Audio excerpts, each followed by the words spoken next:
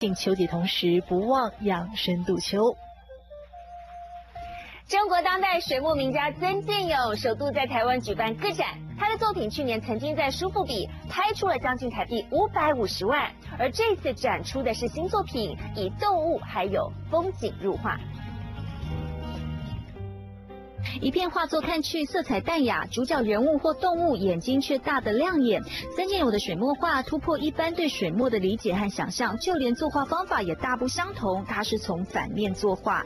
呃，大部分百分之八十是从背面画过来的，然后研究通过呃纸张呃渗透式画为正面，然后这背面也有正面有的产生了一种呃很微妙的呃空间感。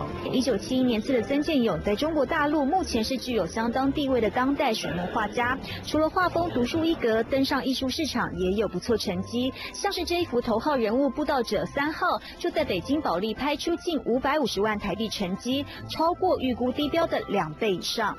嗯，这是呃，当时我头号呃人物系列的一张，也是的比较有代表性的，包括呃尺寸也是最大的。呃，这张画其实呃一个女孩子捧了一本黑色的书，呃呃若有所思，然后呃头戴的花环，呃呃。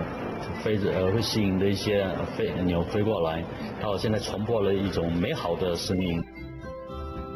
这次曾建勇在台湾的首都个展，命名为应许之地。画中人物手捧的黑书可以看作隐喻成圣经，也因浓重色彩成为画作焦点。之所以带有宗教意涵，正是来自他的信仰背景。比如说，首先我采用三联画的方式，其实跟呃基督教啊这种绘画。经常也有这种呃几年几年的绘画，呃借用他们这种形式，这是一点。呃，第一点就是他设置了一个呃似是而非的模棱两可的一种类似梦境的场景。呃，题目就说当白天成为梦，手里拿了本黑书，呃还有一张白色的纸，这种一黑一白。呃，白天跟梦 这种呃互相呃对应。他的画作也带有幽默童趣，像是这一幅以户外踏青为题，女孩穿着现代的比基尼，男孩手持手电筒照明，都让人莞尔一笑。呃，古代人画山水，其实他他是生活在这个山水里面，那我们现在其实是一个过客，呃，去玩也好，去露营也好。呃，这就是我对这个，嗯，现在人在风景里面，他们之间的关系的一种体现。还在那狗啊？以前 dating 的样子吗？嗯，是。当然，我们你们没有吗？